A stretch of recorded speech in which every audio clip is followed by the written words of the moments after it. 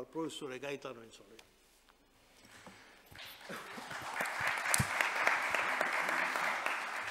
Grazie al professor Fiandaca e al professor Visconti per l'invito a questo importante e interessante incontro.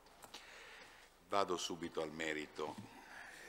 Già il titolo del convegno suggerisce con chiarezza l'idea che è quella di una pacata riflessione sul sistema di repressione e prevenzione apprestato per contrastare la criminalità mafiosa e quella ad essa assimilata, quella organizzata.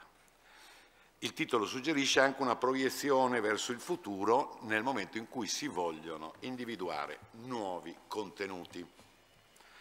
Ecco, io articolerei il mio discorso in cinque spunti per il dibattito, una prima parte, una seconda parte molto sintetica, ovviamente dedicata ai temi individuati dal professor Fiandaca e forse anche a qualche altro tema. Primo punto, dopo la legge Rognoni-La Torre vi è stato un fluire ininterrotto di interventi normativi volti a potenziare l'apparato repressivo e preventivo.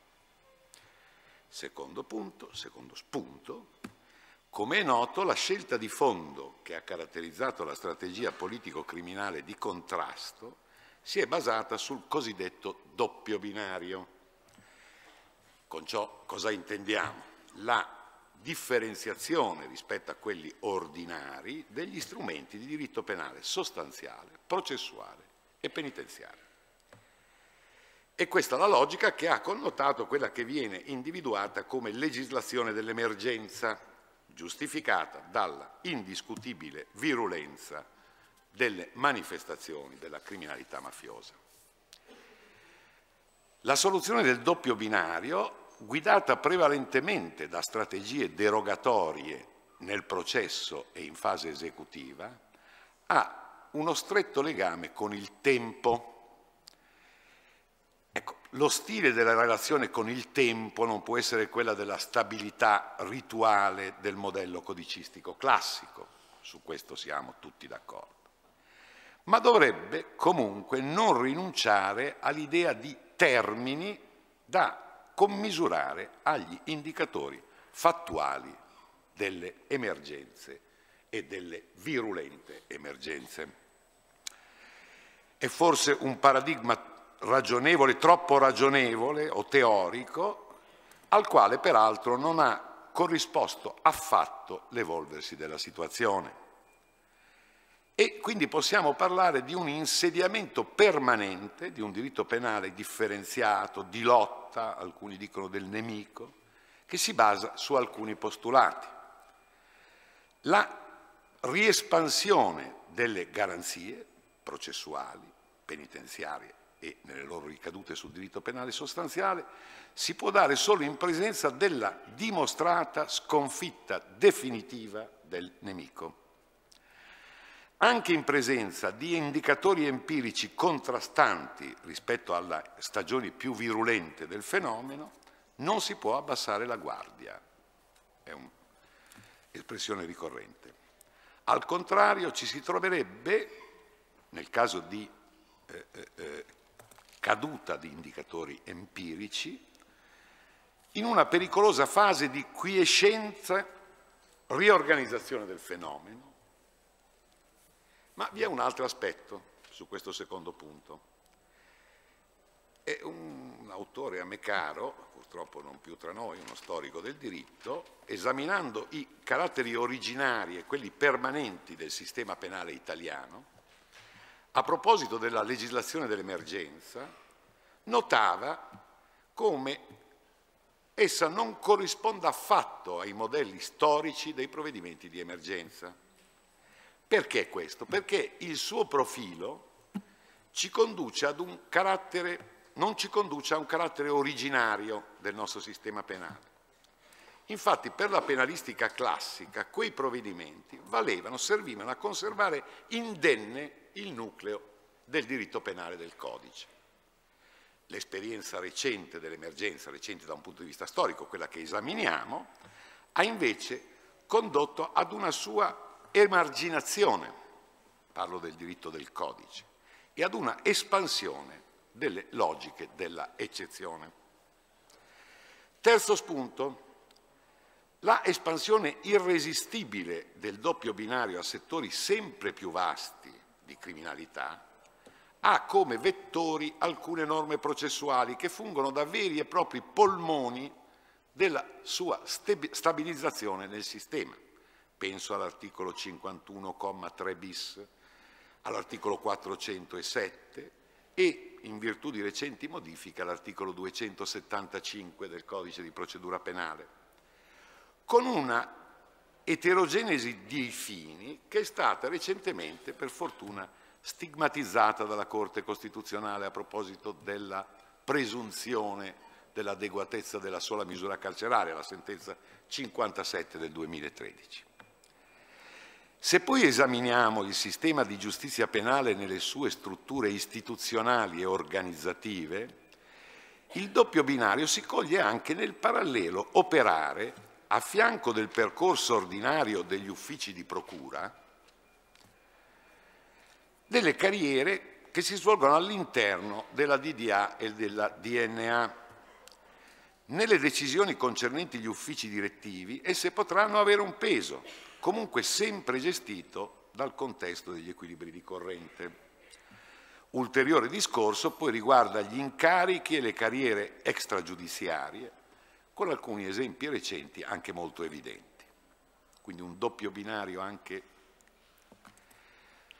Quarto punto, l'esperienza legislativa più recente ha visto affermarsi, accanto alla tradizionale nozione di ordine pubblico, il concetto di sicurezza, e di qui i pacchetti sicurezza, che scandiscono ormai l'iniziativa politica, secondo alcuni implicando una metamorfosi dello Stato da Stato di diritto in Stato di prevenzione. Bene, alle più disparate domande di sicurezza le agenzie politiche rispondono sempre con soluzioni penalistiche, vi è proprio una cronologia impressionante. In questo contesto i nuovi interventi in tema di mafia e criminalità organizzata costituiscono da anni una sorta di coro che accompagna leggi dai, a volte dai contenuti e finalità disparati. Questo fa pensare, ha fatto pensare che ormai da anni questa convulsa legislazione penale costituisca un'operazione di marketing politico. Gli interventi in nome della lotta alla criminalità mafiosa costituiscono l'involucro che consente di smerciare al meglio prodotti eterogenei, guasti o contraffatti.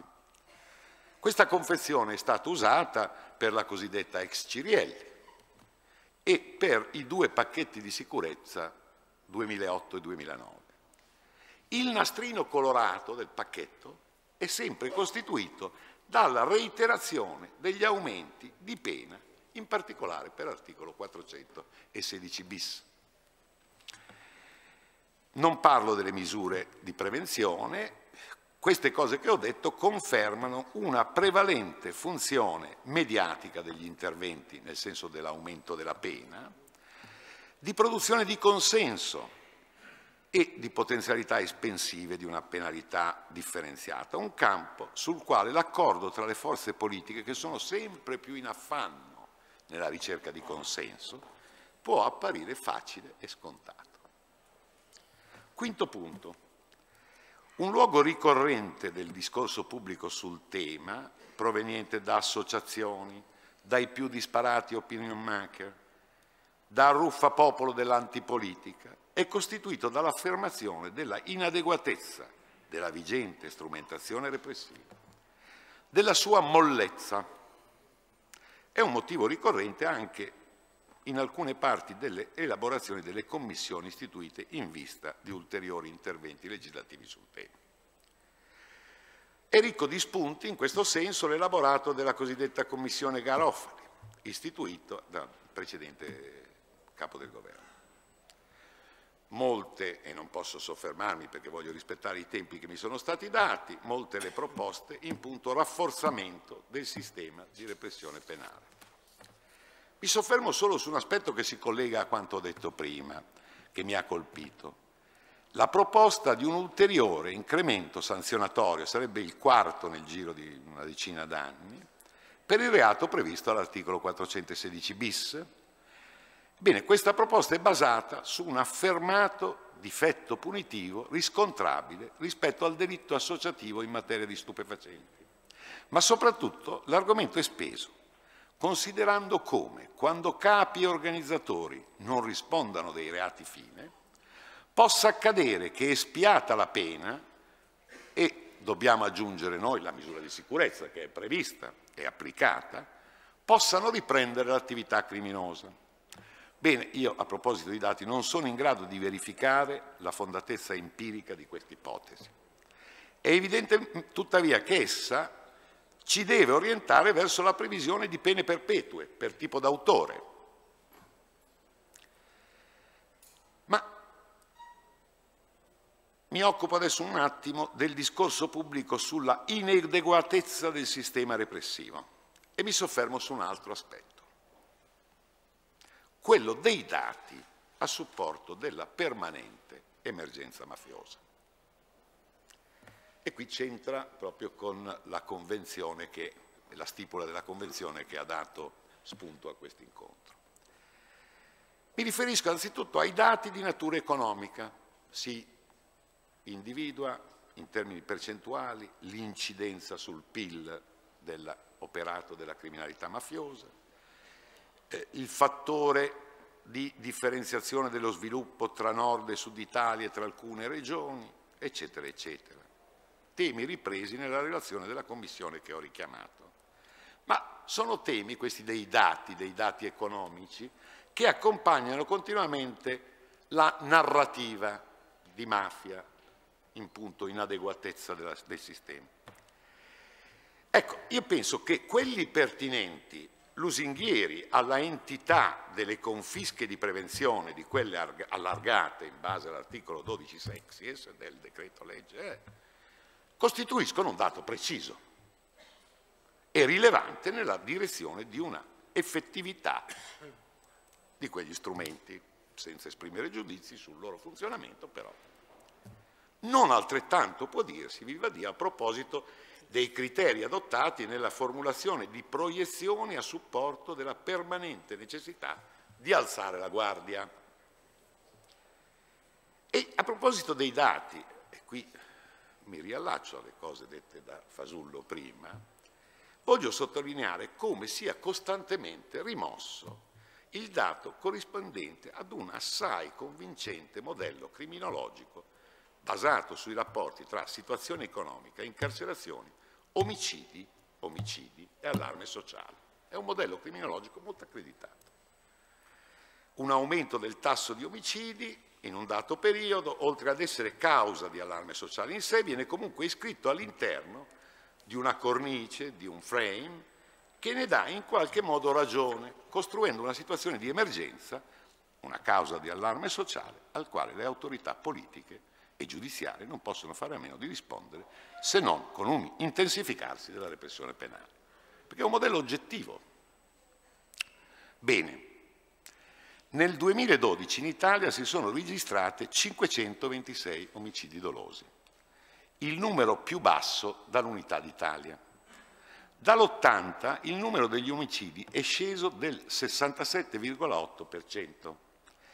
L'indice è di un omicidio ogni 100.000 abitanti.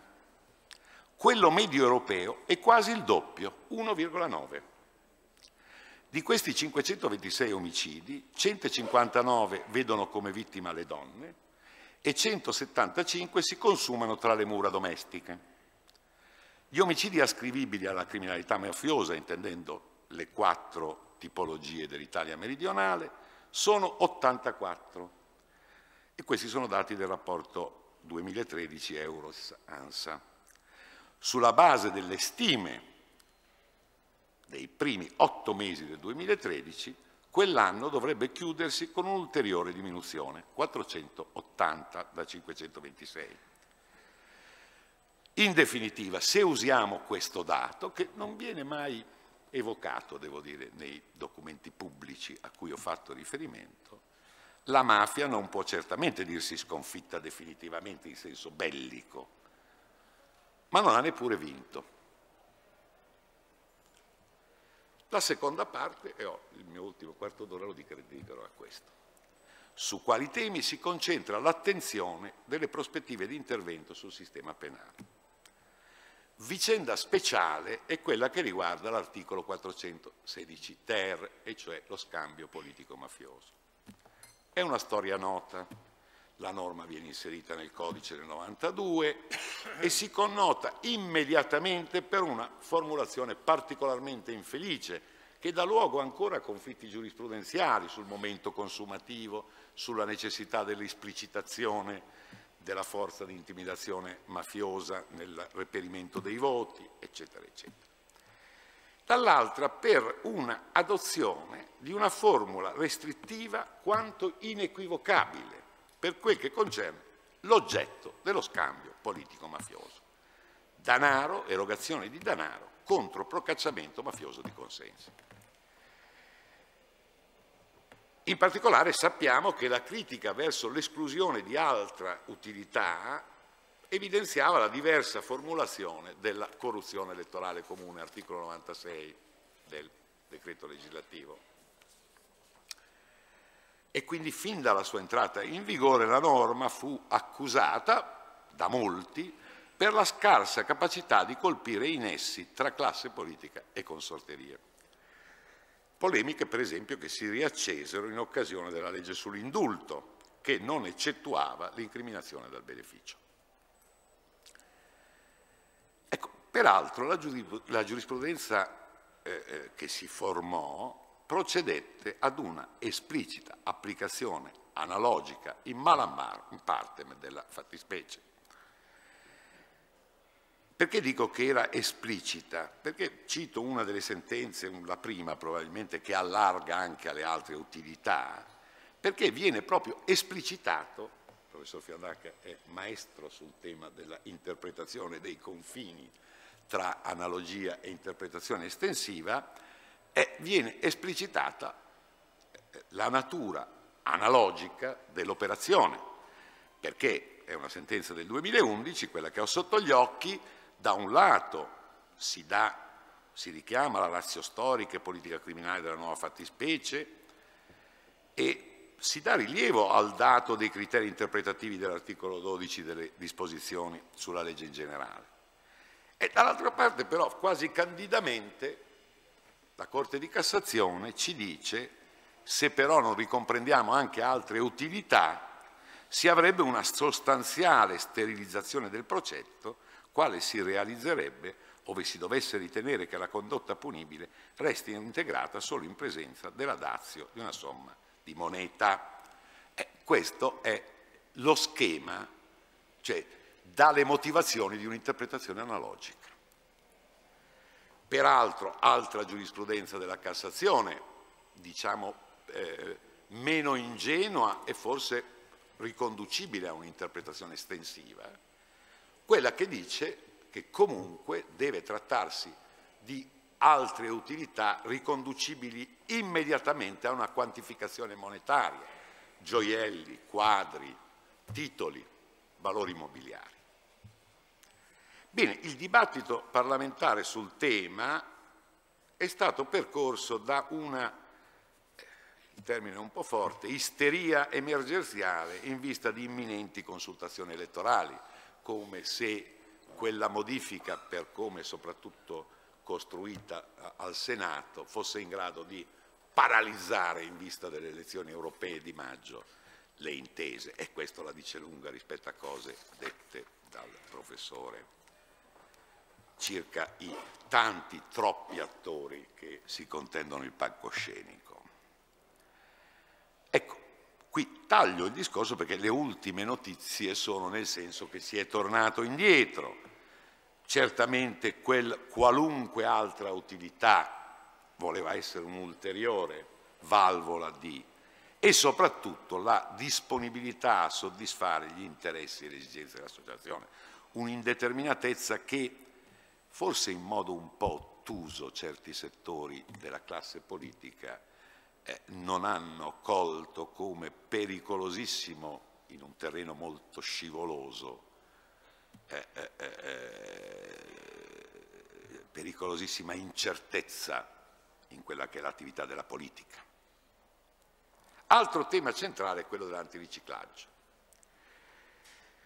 Due commissioni, una nominata dal Presidente Letta e l'altra dal Ministro Cancelliere, altra commissione, quella presieduta dal Dottor Greco. Tre commissioni precedenti, però diciamo nel, nel tempi recenti.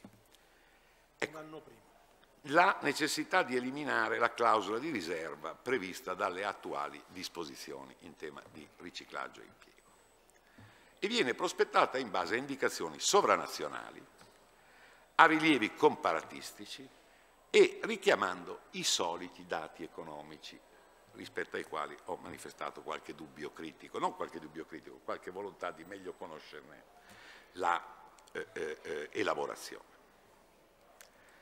In tutte queste sedi si è dato atto delle problematiche molto complesse che implicherebbe la modifica e che sfuggono alle discussioni politiche correnti animate da una eterogenea corte di spesso molto superficiali opinionisti. Quali sono le perplessità? Ingiustificati e sproporzionati aggravi sanzionatori, contrasto con il principio di civiltà, nemo tenetur sede tegere, nessuno è tenuto ad autoaccusarsi, e con quello del nebis in idem, cioè la duplicazione, da intendersi in chiave processuale e in chiave sostanziale con significati diversi.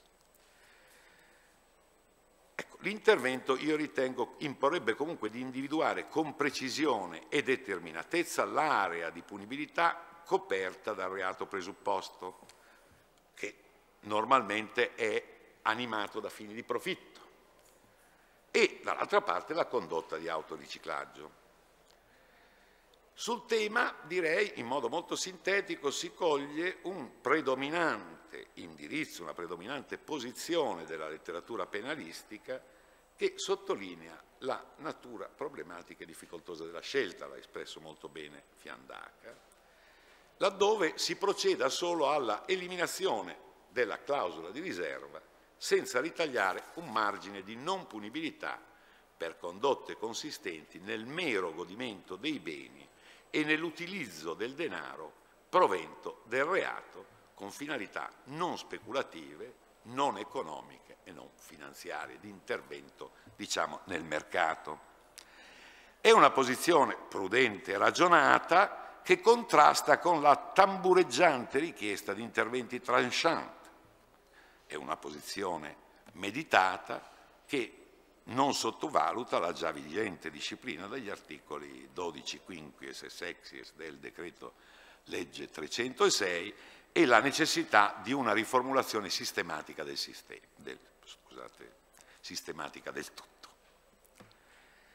Ma vorrei aggiungere una considerazione che mi sembra accennata nella relazione della Commissione Greco L'incriminazione dell'autoriciclaggio, nella misura in cui induce l'autore del reato presupposto ad astenersi dal compiere operazioni volte ad ostacolare l'identificazione della provenienza delittuosa del suo delitto, che lo esporrebbe a rischio di essere scoperto, si porrebbe forse in contrasto con il nemo tenetur sede tegere, dice la relazione greco ma a ben vedere la questione può porsi anche in altri termini, quelli per cui la ricchezza illecita resterebbe confinata a circuiti di impiego illegali, continuando ad alimentarli e compromettendo soprattutto le potenzialità probatorie della sua emersione nelle indagini sui reati presupposti. La considerazione mi sembra che calzi, ad esempio, in tema di evasione fiscale che si vuole superando tradizionali perplessità, ricondurre nell'orbita del riciclaggio. Eh, perché dico questo? Perché eh, mi sembra in contrasto con le prospettive offerte da sempre più penetranti strumenti di controllo amministrativo della ricchezza. Penso agli accessi alle banche ormai e alle comunicazioni delle banche, riccometro, redditometro, studi di settore. Eh, mi sembra che questa realtà non sia coerente basandosi questa realtà amministrativa proprio sul valore indiziante dell'emergere di disponibilità, di consumi, di stili di vita fiscalmente incoerenti. Ma questa è una prospettiva che volevo portare al dibattito. Nella relazione Fiandaca, della Commissione Fiandaca, si dà conto anche come l'analisi comparadistica dimostri che le cose non stanno proprio nel senso del tabbureggiante coro, che l'autoriciclaggio sia punito nella maggior parte degli ordinamenti evoluti. Il panorama è molto complesso e implica più di un distinguo, cominciando da quello concernente la previsione di specifiche fattispecie, la modalità di tipizzazione, ovvero solo evoluzioni giurisprudenziali in questa direzione. Però vi è un'indicazione importante e mi sembra offerto dallo sviluppo del tema in un contesto che non è certo di un paese non evoluto e mi riferisco al contesto tedesco. Il paragrafo 261 del codice penale tedesco non contiene una clausola di riserva, ma al nono comma vieta la doppia punibilità per il reato presupposto e per il riciclaggio del denaro da esso proveniente. Importante, questo è in conformità con il divieto di doppia punizione sancito nel contesto tedesco a livello costituzionale, l'articolo 103, comma terzo. Questo principio, questo divieto della doppia punibilità in tema è stato confermato dalla Cassazione federale nel 2009. Uno potrebbe obiettare che analogo divieto non è previsto dalla nostra Costituzione, ma c'è un problema. Esso è sancito dal settimo protocollo della Convenzione per la salvaguardia dei diritti dell'uomo, molto chiaramente all'articolo 4, diritto di non essere giudicato e punito due volte. E qui vediamo una novità molto interessante. È una recente sentenza della Corte di Strasburgo, 4 marzo 2014, nella causa Grande Stevens contro Italia. E la sentenza si riferisce, ovviamente non ne riporto in dettagli i contenuti, però a me pare che si riferisca proprio, e condanni l'Italia, alla duplicazione, oltre che del procedimento, dell'impatto sanzionatorio. Il problema è sanzioni consob e sanzione processo penale. Ne deriva, sono parole della Corte Edu, che le nuove azioni giudiziarie concernono una seconda infrazione che ha per origine fatti identici a quelli che erano stati oggetto della prima condanna. E quindi, con particolare riferimento a quelle situazioni nelle quali si tratti di condotte consistenti nel mero godimento dei beni o nell'utilizzo del denaro proveniente del reato con finalità non speculative, economiche o finanziarie, la questione si pone rispetto alla nozione di stesso fatto e quindi sul versante del cosiddetto nebis in idem sostanziale e su quello connesso di proporzionalità della risposta sanzionatoria. Due minuti e ho finito. In conclusione, mi sembra forse che la seconda ipotesi formulata dalla Commissione greca allora, perché formulava due ipotesi di soluzione, e la proposta di minoranza sul terzo comma dell'articolo 648 bis della Commissione Fiandaca, previsione di una causa di non punibilità, si facciano solo in parte, devo dire, carico di questi problemi. Ecco, aggiungo che mi sembra invece che imprima una spinta espansiva incontrollabile all'incriminazione dell'autoriciclaggio l'adozione di formule di chiusura quale compie altre operazioni in modo da ostacolare l'identificazione della loro prevenienza delittuosa. Formula che rispetto al riciclaggio poteva trovare una qualche giustificazione, una qualche modalità interpretativa, sul concetto, nel caso dell'autoriciclaggio, certamente porrà, porrebbe questioni circa il concetto, per esempio, di ostacolare materialmente, giuridicamente. Due battute Ancora sul concorso eventuale. A poca distanza dalla sentenza Mannino coglieva avvisaglie giurisprudenziali della sterilizzazione della portata garantistica di una decisione che aveva provato a ricostruire correttamente, in base all'articolo 110, la possibilità di tipicizzare il contributo ponibile. Queste avvisaglie rivelavano anche la fragilità di alcune fragilità dei criteri adottati in quella sentenza in punto causalità. Ebbene, successivamente, con quello stucchevole balletto dell'ossequio formale alle sezioni unite, al quale corrisponde però, in funzione di una specifica sottofattispecie, una soluzione in realtà difforme, dissenziente, ecco, è avvenuto questo. Una conferma di quei timori che io espressi subito, ma non solo, anche, anche il professor Fiandaca, può oggi trarsi dall'indirizzo che ipotizza la configurazione permanente del concorso esterno. E in questo modo si gettano ulteriori elementi di confusione e di incertezza nel tormentatissimo percorso di questa figura, e non sto a dire quali perché. Ma Devo dire che si tratta di una, tra virgolette, dogmatica giurisprudenziale accorpabile ad altre topiche interpretative che sono fondamentalmente volte a scongiurare l'intervento della prescrizione, soprattutto dopo la riforma del 2005. Il diritto positivo viene ritenuto inadeguato a corrispondere ad esigenze di effettività punitiva. Ecco l'elaborazione sempre più fantasiosa dei reati dell'allargamento del novero dei reati permanenti, reati a consumazione prolungata. Ecco, io penso che ripensare all'antimafia vuol dire anche tornare su questo tema e ripensare anche all'aggravante dell'articolo 7 della legge 203 del 91. Ecco, torno un attimo sull'articolo 416 ter perché in una recente decisione, recentissima della Cassazione, si è stabilito che la fattispecie circostanziale è assorbita nell'incriminazione, la circostanza dell'articolo 7 è assorbita nell'incriminazione del 416 ter. Con il risultato, era evidente nella decisione in questione, ancora una volta funzionale ad escludere la prescrizione perché in questo modo si ricomprendeva anche il 416 ter nel catalogo dell'articolo 51,3 bis del codice di procedura penale che non lo menziona affatto.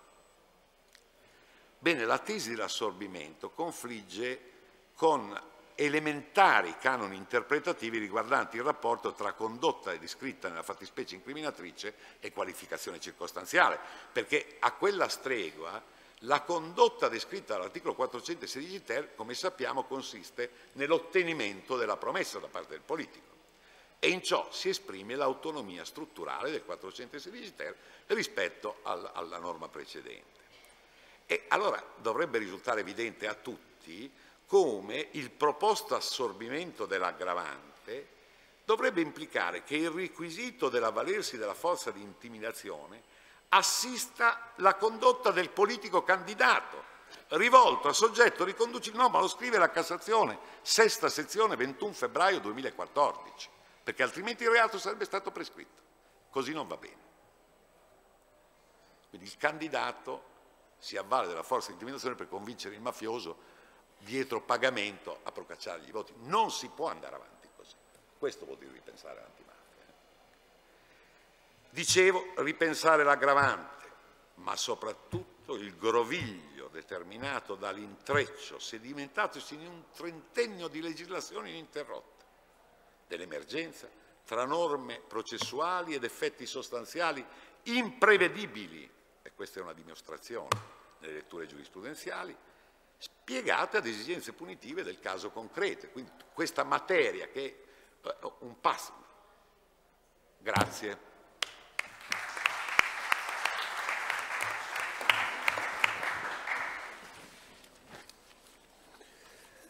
Ma l'intervento di Gaetano Insolera, che si è mantenuto sostanzialmente nei limiti di tempo, è stato in realtà di ampio respiro, che a parte i cinque spunti di riflessione di portata generale che ha sottoposto alla nostra attenzione, ha toccato diversi punti caldi, del, anche in relazione a, alle principali fattispecie, ai principali eh, istituti che sono fatto oggetto di applicazione anche nella prassi giudiziaria.